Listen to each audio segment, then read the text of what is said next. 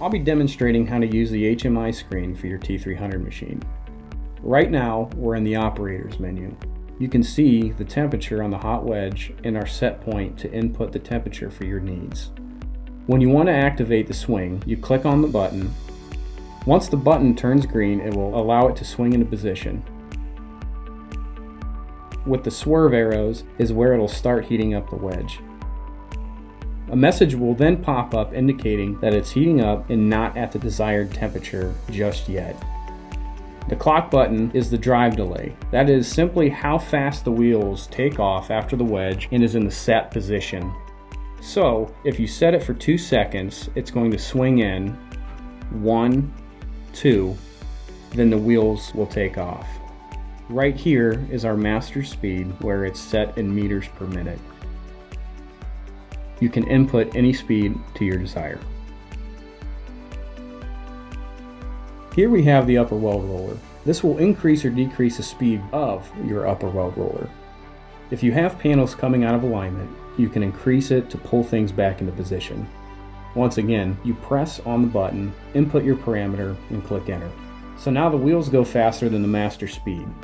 Same thing applies with the puller wheel back here.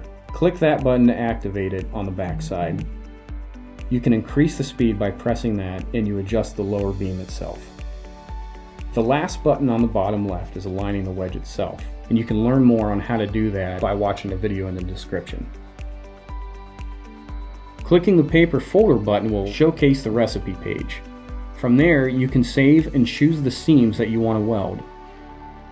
Click the pencil button to go in and input the desired parameters for each of your recipes. The gear button is going to be the machine setup. Now right now you can see I am set up for the edge. If you're doing long straights, we have the table set, the puller's activated and the two front wheels right here. If you're doing inflatables, select the middle button and the puller wheels will be deactivated. You can now pivot and maneuver some of them. Now the third button is the single roller beam option.